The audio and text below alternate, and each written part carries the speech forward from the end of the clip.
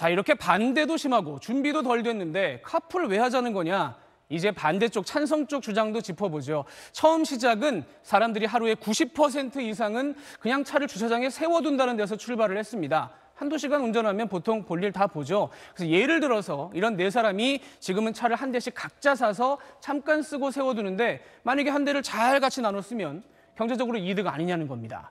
그 실험이 미국에서는 지금 여기까지 갔습니다. 구글이 이번 달부터 시험 운행 중인 건데 이게 뭐냐면 자율주행 택시입니다. 운전 사람이 안 하고요. 차가 혼자서 핸들 돌려가면서 목적지까지 갑니다. 최종적으로는 이 운전자 없는 무인 자동차들을 고객들이 원할 때 집 앞에 딱 드놨다가 태워주고 다음 손님 또 바로 실어 나르고 이 톱니바퀴 같은 연결 시스템을 잘 개발하면 세계의 미래 교통시장을 휘어잡을 수 있다는 주장입니다.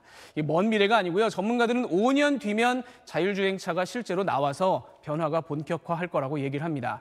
이 기술 제일 앞서 나가는 우버 곧 상장을 하는데 회사 가치가 우리 돈으로 135조 원, 현대자동차 다섯 개를 합친 정도로 평가가 될 정도입니다. 이 우버 잡겠다고 사방에서 달려듭니다. 한쪽에선 IT 거인 구글하고 애플이, 또 다른 쪽에서는 벤츠, GM, 도요타 큰 자동차 회사들 다 뛰어들었습니다. 나중에 결국 저 회사들이 그 기술 갖고 우리나라에 들어올 수 있죠. 그런데 우리는 현재 불법이라서 안에서는 실험이 쉽지 않습니다. 그래서 현대차부터 삼성, SK 같은 큰 회사들은 합법인 동남아에 돈 가지고 가서 투자하는 쪽을 선택을 했고요. IT 벤처 회사들은 법의 일부 허용이 돼 있는 카풀을 해보겠다고 나선 겁니다. 지금 여기서 충돌이 벌어진 거죠. 우리 답을 찾아내야 됩니다. 그런데 이 일을 맡았던 이재웅 전 혁신성장본부장이 최근 자리를 던지면서 보니까 국회나 정부나 따로 움직인다. 사회 전체가 문제가 있다라고 지적을 했습니다.